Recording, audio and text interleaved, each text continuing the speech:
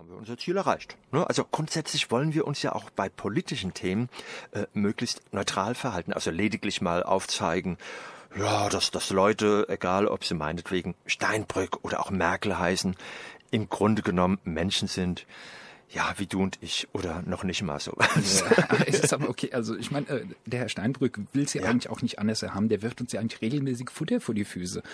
Oder auch ins Fettnäpfchen. Nein, nein, nein, mein Feigling. Also Per Steinbrück tritt prinzipiell in kein Fettnäpfchen. Er spricht ganz einfach nur Klartext. Das meint er. Meint er? Also, ja. äh, was läuft denn da gerade eigentlich, äh, sag mal, diese Aktion da, Per Steinbrück und diese Erotik-Shops? ja, der, der Per wird mal wieder einen Vortrag halten. Jetzt, äh, jetzt nicht vor einem Erotikshop. In einem, oder? Nein, doch, Michael. Äh, nein, ja.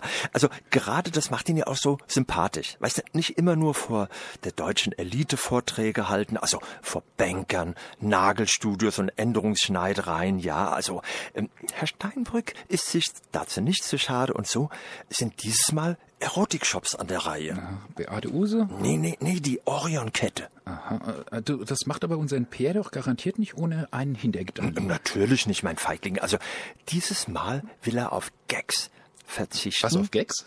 Auf, auf Gags, sagen wir mal auf Gage. okay. Ja gut, ähm, für ihn sind, ja, was für uns Gags sind, ist hier in die Gage. Also, also will auf Gage verzichten, hm, auch, ja, auf, auf Gastgeschenke, zum Beispiel wie, wie Rotweine. Ja. ja. Sollen jetzt die Erotik-Schuppetreiber etwa alte Glühbirnen mitbringen? Nein, äh, davon hat er doch schon genug in seinem Keller. Nein, dieses Mal bittet Herr Steinbrück um Kondome. Aha, ich dachte, die zieht er sich eigentlich immer aus dem Automaten. Nee, nee, äh, die hat er sich bisher immer über einen Versand bestellt. Ja.